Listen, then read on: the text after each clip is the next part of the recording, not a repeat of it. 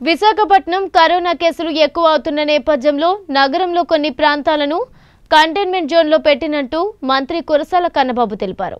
ఉడా children ఎరీనాలో ఏర్పాటు చేసిన విలేకరుల సమావేశంలో మంత్రి మాట్లాడుతూ విశాఖ నగరంలో విమ్స్ గీతం ఎన్ఆర్ఐ కేర్ అపోలో హాస్పిటల్లో సుమారు రెండు వేల నూట ఎనభై ఎనిమిది పడకలను ఏర్పాటు చేసినట్టు తెలిపారు. కంటైన్మెంట్ జోన్ ఏర్పాటు చేసిన ప్రదేశాల్లోకి మూడు కిలోమీటర్ల పరిధిలో బయట వారిని అనుమతించేది లేదని స్పష్టం చేశారు. కంటైన్మెంట్ జోన్లో ఉన్న ప్రజలకు అన్ని రకాల సహాయక చర్యలు చేపట్టే విధంగా అధికారులను ఆదేశించినట్లు మంత్రి తెలిపారు. విశాఖపట్నం రాష్ట్రంలోనే చాలా కీలకమైన ముఖ్యమైన ప్రాంతం మీకు తెలుసు ఆ విషయం. మొట్టమొదటి ఇక్కడ కేసు పాజిటివ్ రాకముందు నుంచే చర్యలు తీసుకున్న ఫస్ట్ కేసు వచ్చినప్పటి నుంచి పూర్తి విజిలెంట్గా ఉండి అన్ని ఏర్పాట్లు చేయడం జరిగింది. ఆ రోజు నుంచి దాదాపుగా ఒక ట్వంటీ వన్ కమిటీస్ వేసి విశాఖపట్నం జిల్లాలో ఎప్పటికప్పుడు ట్వంటీ ఫోర్ ఇంటూ సెవెన్ దీన్ని పర్యవేక్షించడానికి జిల్లా కలెక్టర్ గారి ఆధ్వర్యంలో అన్ని ఏర్పాట్లు చేశారు. ఈరోజు జరిగిన సమీక్షలో ఇక్కడ ఏర్పాట్లు కానీ అమలు కానీ సంతృప్తికరంగా ఉందని ఒక అవగాహన ఏర్పడింది. కొన్ని విషయాల్లో స్పష్టమైన ఆదేశాలు కూడా ఇవ్వడం జరిగింది. ఈ కంటైన్మెంట్ జోన్స్కి సంబంధించి ఏడు జోన్స్ ఉన్నాయి ఇప్పుడు. ఒక్కొక్క జోను దాదాపుగా త్రీ కిలోమీటర్స్ రేడియస్ రేడియస్లో మొత్తం అంతా కూడా కంటైన్ చేశారు. ఎక్కడికక్కడ బ్యారికేడింగ్ చేసి మొత్తం జనజీవనాన్ని నిలుపుదల చేసిన పరిస్థితి ఉంది. రెండు లక్షల ఆరు వేల మూడు వందల ఇరవై రెండు కుటుంబాలు కంటైన్మెంట్ జోన్స్లో ఉన్నాయి. పాపులేషన్ చూస్తే ఏడు లక్షల ఇరవై ఎనిమిది వేల తొమ్మిది వందల అరవై ఒకటి మంది ఉన్నారు. సో ఇంతమంది జనాభా ఉన్న ఈ ప్రాంతాన్ని కంటైన్ చేయడం వల్ల ఇంకా ఇక్కడ దృష్టి సారించాల్సిన అవసరం ఉంది. వైద్య ఆరోగ్య పరంగా ఎప్పటికప్పుడు ఆ ప్రాంతంలో ఉన్న వారికి పరీక్షలు నిర్వహిస్తూ ఏ ఒక్కరూ మిస్ కాకుండా చూడటం బయట ప్రాంతాల నుంచి అక్కడికి ఎవరిని రానివ్వకుండా చూడటం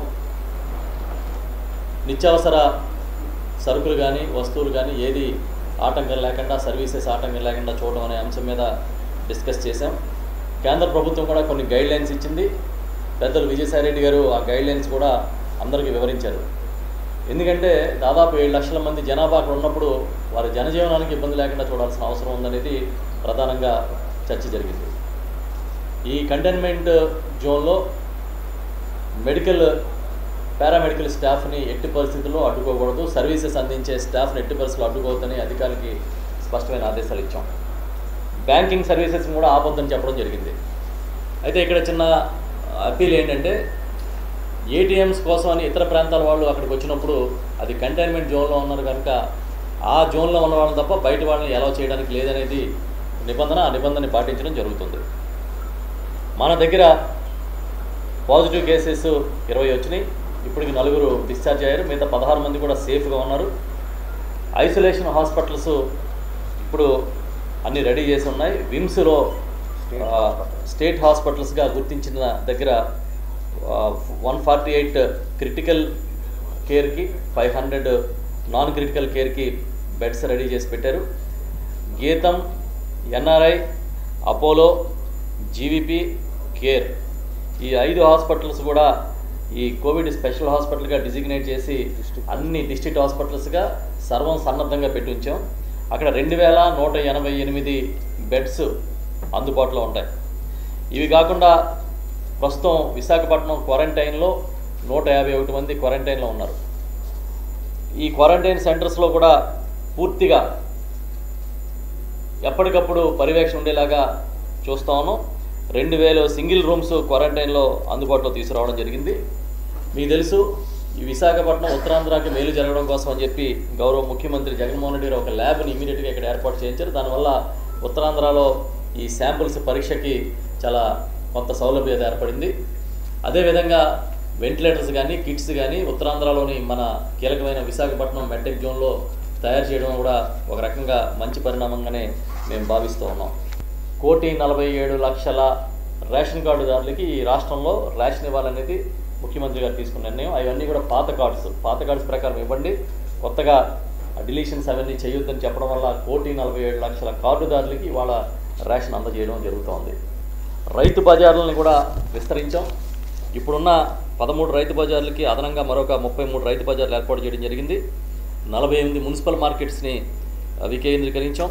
యాభై రెండు మొబైల్ మార్కెట్స్ ఉన్నాయి. ఇవన్నీ కూడా ప్రతిరోజు ఎప్పటికప్పుడు జాయింట్ కలెక్టర్ గారి ఆధ్వర్యంలో సమీక్షిస్తూ ఉన్నాం. ప్రతిరోజు కూరగాయల ధరల్ని ప్రకటించాలని చెప్పి ఆదేశించాం. మనం ప్రొక్యూర్మెంట్కి సంబంధించి కొన్ని సమస్యలు ఉన్నాయి కేంద్ర ప్రభుత్వం మనకి కందులు కానీ శనగలు కానీ కొనుగోలు చేయడానికి ట్వంటీ ఫైవ్ పర్సెంట్కి అనుమతి ఇచ్చింది.